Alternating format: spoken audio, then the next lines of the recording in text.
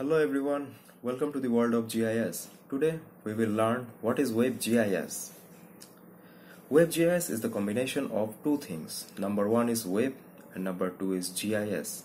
So WebGIS is the combination of web and GIS. Now let's see what we need to learn to start our WebGIS career. First of all, you need to learn HTML which is the ABCD of WebGIS programming. After learning this ABCD, you can write your name, which means WebGIS project, using that HTML.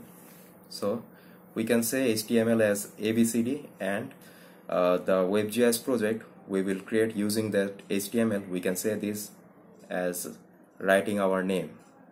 So this is the first step to start WebGIS learning. After that, you need to learn some advanced level programming language based on your WebGIS project and uh, your WebGIS platform you are using to complete your project requirement.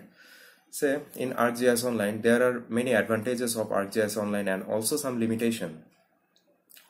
And those limitations are not exist in GeoServer, but uh, in GeoServer there are many limitations which are not exist in ArcGIS Online so many platform has some limitation and advantages.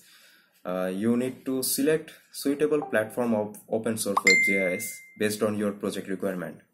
If you learn ArcGIS online you need to learn SLT language. If you learn um, GeoServer you also need to learn SLT language and some HTML programming. If you want to learn Google Maps API you need to learn obviously HTML JavaScript PHP, MySQL, and Google Maps API. And there are many more open source WebGIS platform. It will be uh, depends on your WebGIS project, what your project required.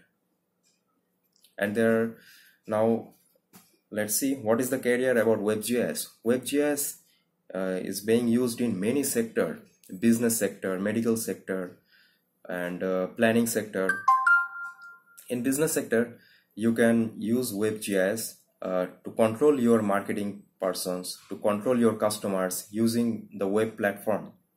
In medical sector you can see in your WebGIS the population data the disease data the area which are vulnerable and uh, the area which are not vulnerable. And uh, in the planning sector there are many use in planning sector. In real estate, they are also using WebGIS to manage their properties and uh, plot and plat database, spatial database, non-spatial database. And the future is in WebGIS. Present is GIS, but the future is WebGIS. So learn GIS, then advance yourself and your career by learning WebGIS. After all of this, enjoy GIS and subscribe this channel to learn something more, something new tips and tricks, tricks of GIS every day. Enjoy GIS.